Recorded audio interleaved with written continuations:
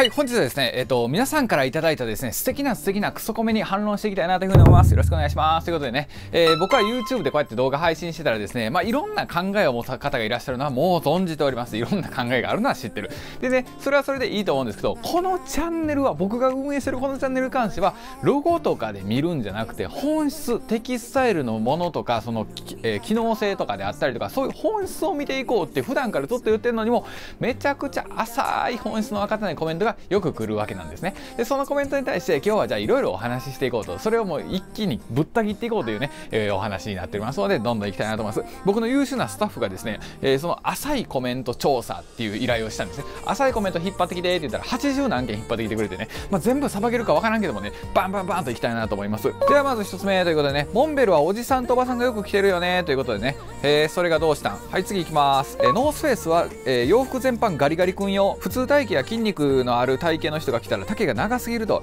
ノースフェイス着れる人羨ましい。さも自分が普通体型で筋肉があるように言ってはるけどもね、えー、ご愁傷様です。が次いきます、えー、こちらではないんですけどワークマンのダウンジャケットでも十分ですわ。はい。じゃあワークマンのダウンジャケット買ってください。次いきます。もうノースフェイスはええやろ草ということでね。させてください。ノースフェイスはもう骨のすねかじりまくってね骨なくなるまでねかじらせていただきたいなと思いますのでよろしくお願いします。じゃあ次、えー、モンクレールとカナダグースはキャッチの兄ちゃんっていうイメージが強いですね。へえ一番惹かれたのはタトラスでしたと。でタトラスいいんやけどもモンクレールってまで言っちゃうとねおじさますぎますよねということでね、えー、個人の感想ありがとうございます。では次はですねカナダグースは今日本では、えー、必要ないぐらい暑いということでキャッチの兄ちゃんみたいな立ちんぼで着てても暖かいかなということでね。この人も全く本質の分かってない人ですね。これはそういうとこに行く用の用途として作られてるのに日本で暑いとかっていうのがね本質がちょっと分かってないんだな。本質分かってないということで次行きます。今のファー付きのダウン着てたら確実にダサいと思うということでねこのファーついてるダウンこれが必要な人もいてるから作られてるわけなんですよね。はい本質分かってないということで次いきます。いいものだと思うけどもノースケースノースフェイスだけは恥ずかしくて着れないということでね、えー、着なかったらいいんですよ。では次いきます、えー、乞食が湧いてますねということでね。まあここまで聞いたことは僕よう言いませんけどもそうみたいです。では次いきます。次バルトロですね。着用人口多すぎて機能性より羞恥心が勝る。それがバルトロということで、えー、自分に個性があったら同じ服着てても違いますよ。よね。ただ自分に個性がもしなかった場合は同じ服着てたらねかぶっちゃった嫌かもしれないんですけども、えー、そういうこと言ってくれることは言われますよ。知ら知りませんよ。はい次いきますね。次はアークテリクスはおっさんに人気ですよね。ということでまあどうなんですかね。若い人でも着てはるけどもある程度なんていうのはちょっとシティ派というかねちょっとお金が高いかもしれないんですけどもまあ高所得の方が多いかもしれません。では次ユニクロのシームレスダウンでいいよということでね、まあ、確かにこだわりない人はねシームレスユニクロっていいんですよ。ユニクロかワークマンでいいからこだわりない人はねこのチャンネルじゃないんですよ。残念ながら。このチャンネルはこだわりある人なんやからね、えー、そんなことで本質分かってないということで。はい次。カナダグース。マジで着たくない。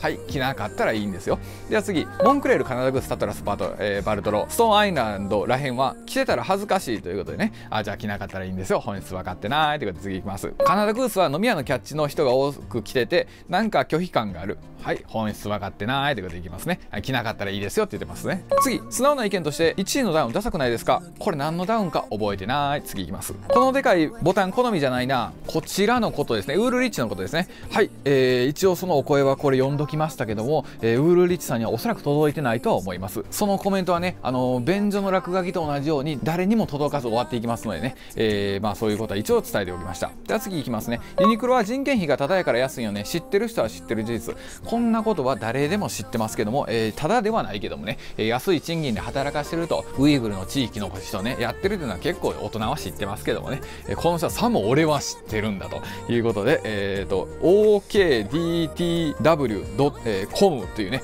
大体こういう人に限って匿名で写真も何も載せなくてわけわからんこと言ってるんですけどもね、えー、まあ置いておきましょう。これノースフェイスはねちょいちょいグレードダウンするよねということでね言っていただいておりますけどもまあまあまあこれは確かにその部分も確か一理はあるかもしれないですけどね、えー、そういったことがありました。では次。あまず雨の多い日本で半端な撥水ダウンは、えー、販売員に騙されたにわかもんしか買わないということでこちらのねピレネックスがありますけども、え、ご安心ください。僕の視聴者さんは、え、僕の動画を見て全てちゃんと分かった上で買う方は買うし買わない方は買わないです。この方は僕の視聴者さんではございませんのでね、え、そんなこと言ってますけども、え、僕の視聴者さんは大丈夫ですよ。ご安心くださいということでした。では次ノースフェイスってマジックテープ多すぎて嫌いということでね。へでは次、え、モンベルはカラーとデザインのロゴ変えたらマジで最強アウトドアブランドだよねということでね。ここに返信ぶった切ってます。ほぼ全部変わってて草。その通りですよね、えー、ブランドの、えー、カラーとかデザインとかロゴとか変えちゃったらもうほぼ違うブランドなんですよとこの素晴らしい切り込みがありましたけども、えー、次モンベルデザインが点々点。モンベルに3万出すんやったら無印の1万円ぐらいのダウンがいいかな。何も分かってねえ。完璧ですね。その通り。全然質ちゃうからそれはね、えー、無印のダウンとアウトドアな機能性の服とか生地を仕入れているモンベルでは圧倒的な差がありますのでてかモンベルってもともとはアウトドアブランドじゃなくてアウトドアの生地とかを取引してるブランドやったっていうところでそこから派生してるから機能性はいいんですよ。どうやってもね。だからこの人の、えー、カワセミのこのカワセミさんの返信が完璧なんですよ。何も分かってねそれが全てなんですよね。川崎さんさすがでございます。じゃあ次。ノースフェスのマウンパとノユニクロのマウンパ比較。ロゴ代5万円。はい。本質分かってない。ということでね、えー、ウルリッチはタトラスの高級ダウン買ったんやけどあんま意味ないのかな。もう安いやつでいいやん。ということでね。はい。これも本質分かってない。ということで。ダウンは暖かさだけじゃないからね。暖かさ以外にも機能性ってあるからここの保温力のね検査をこれしてるんですよ。だからここの温度はそれは一番暖かいのは何か分からんけどもそ首周りとかの防寒性であったりとかここの温度は確かに胸の温度は あの比較ができるけどもじゃあ首の温度で測ったらもう全然それはファーがないやつは寒いやろうしっていうことなんで、まあ、これもちょっとまああんまり本質が分かってないかもしれないんですけどもね、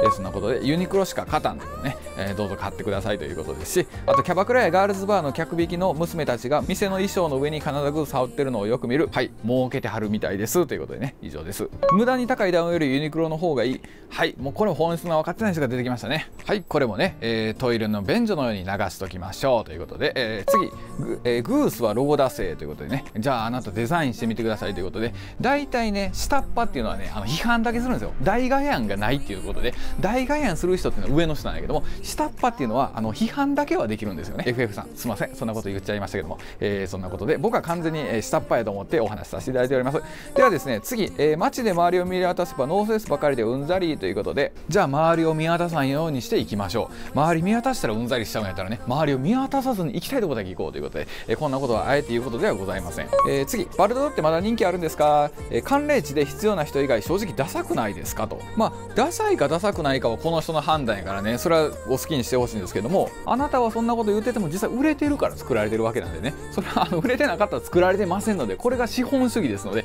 売れないものは作らない。売れてるから作り続けてる。これ当たり前のことなんですけども、えー、本質分かってないということですね、えー、次タトラスはロゴがダサいのようなはい出ました。代替案がない下っ端の意見ね、えー、下っ端の意見っていうのは代替案はありません批判だけするということなんです。はいでは次いきます。モンクレールのダウン。なんか安っぽくねっていうことでね、えー、まあそれは見る人によってちゃうかもしれないしまあ画面通じてからね。本物見てるわけじゃないから、えー、まあまあそれはあるかもしれないです。では次モンクレールダッサとかね、えー、お声があったりとか。あとテカリが兄貴とかね、えー、テッカテカとかねゴミ袋っぽく見えるとかね。でも最近はこういう黒のゴミ袋あまり見かけないとかマジのあの返信をしていただいたりとかしますけども。モンクレールか日本人だとダサいと思う人は多そうということで、えー、これもズバリ来てますね、えー、ケンコバさんの返信が全て買えないやつの妬みということでね、えー、買買ってから言う人は少ないですから、えー、買わないで言うっていうのがもう99%そうです。もう買ってないとか買えないから言うっていうことが多いんやと思うんですけど僕ももちろん買いませんよ。買えませんけども、えー、これは仕事としてやってますのでプライベートっていうか仕事としてやってますので買わせていただいてますけども僕もそんな財力はございません。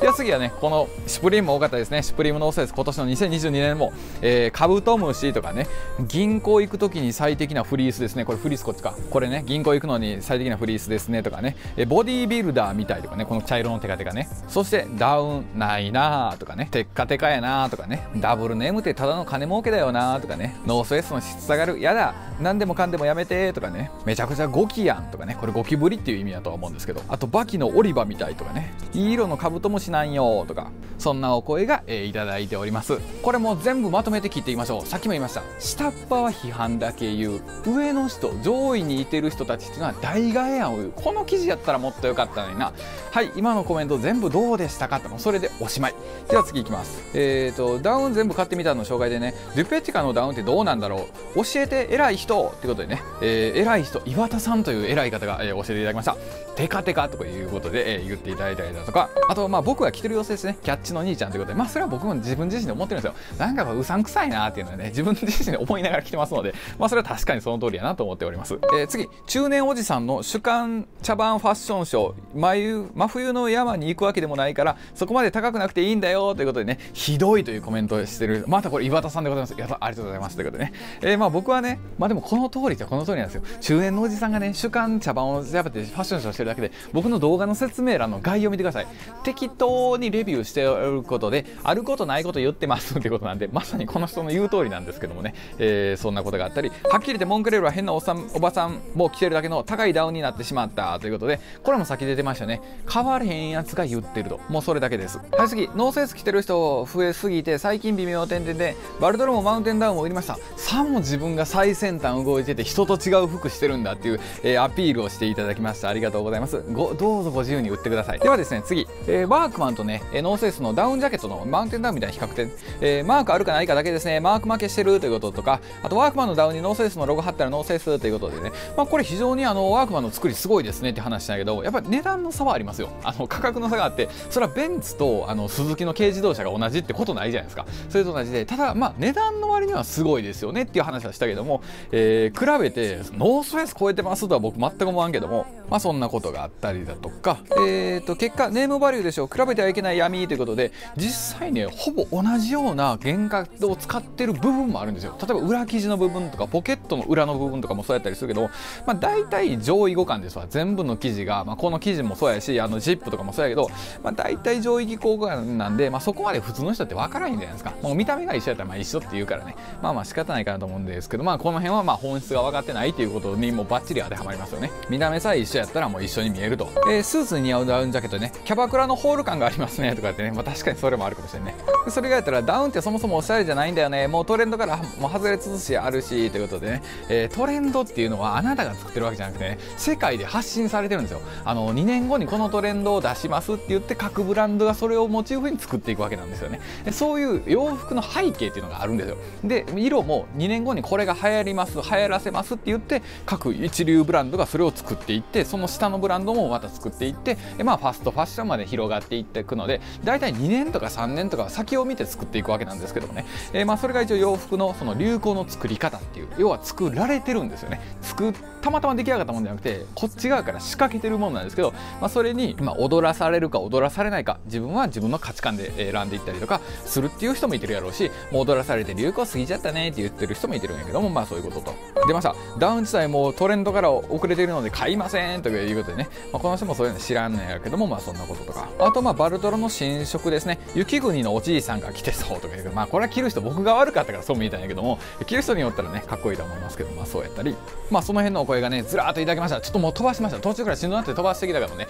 まあそんなことで、えー、皆さんからいろんなコメントいただいてます。だから本質をこうついたコメントももちろんありますしまあそういうのって分からない人は分からへんじゃないですか。だからあこれはあのートイレの便所と同じように流されてるコメントなんやなと思いながら見てもらったらいいですしあと本質分かってないっていうコメントやったらもうそれはスルーで言っていただければいいかなと思いますので、まあ、そんなことにはね僕のチャンネルの視聴者さんは一喜一憂せずにあわけの分かってへんこと言ってはるわっていう人もいればあすごいまとえてるなとこれすごい本質分かってるなとかすごいためなるコメントやなとかっていうのもね、えー、皆さん頂いておりますのでそういうのをこう、まあ、見ながら楽しんでいただくっていうのもね動画の一つの楽しみ方かなと思いますので本日はですね、えー、クソコメに反論してみたという動画に撮ってみました。また別動画でお会いしましょう。ありがとうございました。